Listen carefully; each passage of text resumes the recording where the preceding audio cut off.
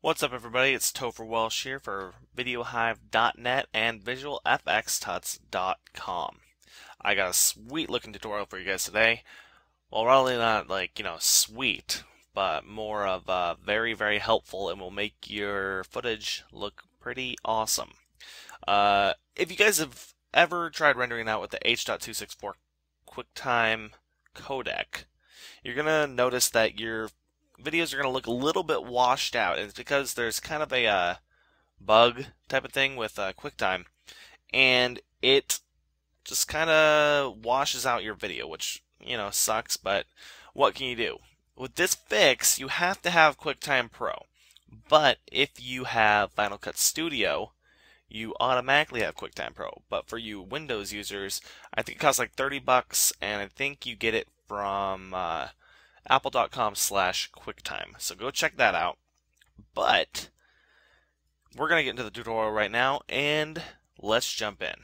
So I got this nice looking piece of stock footage that I took at the zoo while I was there with my family. My little kid loves the macaws. And uh, it's really, really nice and vibrant red. I got some really nice whites in here. And we're going to kind of pay attention to this last frame right here because you can see the hair is really nice and everything. So I did shoot this in HDV, but uh, what I did is I actually scaled it down to 720 by 480 so I could use the QuickTime output module, and you should probably see my tutorial on exporting HD H.264 if you want to do this. This technique still applies to HD H.264 as well, but for saving time, I'm just using the 720 by 480. So let's go in here. I already have this here. You can go to Composition, make movie to bring your stuff into the render queue. Always remember, never use file export, okay? Never use this. I hate it. It's horrible. It's the devil. But yeah, always use Control M or Composition Make Movie to send everything to the render queue because it gives you a lot more control when you want to render out your video. So what we're going to do is we're going to go into the output module and we're going to choose the format which is H.264 you can go into your format options if you want to kind of mess around with that, but we we don't really we don't really need to do that right now. So just going to cancel and hit OK. Okay, so I've already actually rendered this one out, but it's going to render it out to a .mp4 format. So let's fake like I hit click render. Okay, we got our video right here, and as you can see, this last frame is kind of, you know, kind of more blah than our source footage, which, you know, that's the sucky part about it. So all you people that don't have QuickTime Pro, this is why you're going to want it, especially if you're messing with stock footage or if you're outputting to QuickTime uh, H.264 a lot, especially for clients. So our way to fix this is we are going to go into File. Oh, whoops, my bad. We're going to go to Window show movie properties.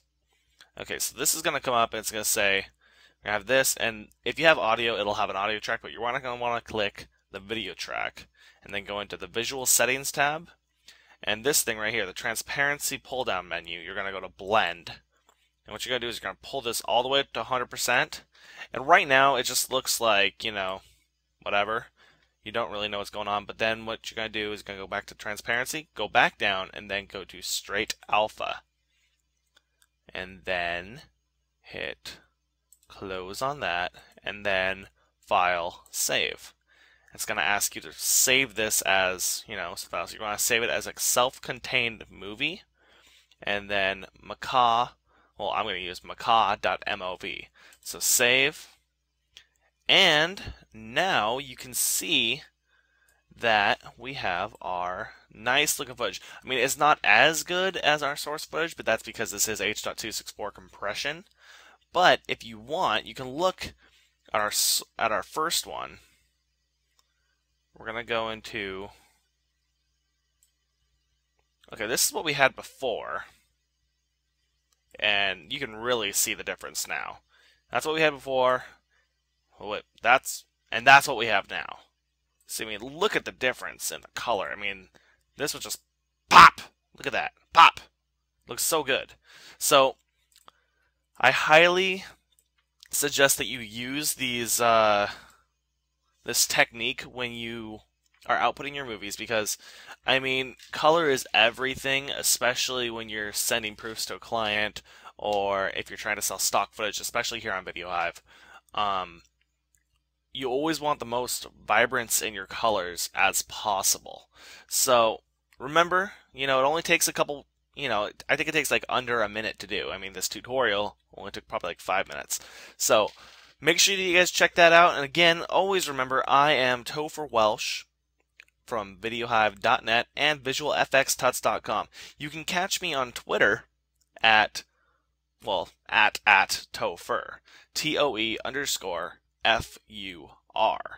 Also, you can find my website at visualfxtuts.com,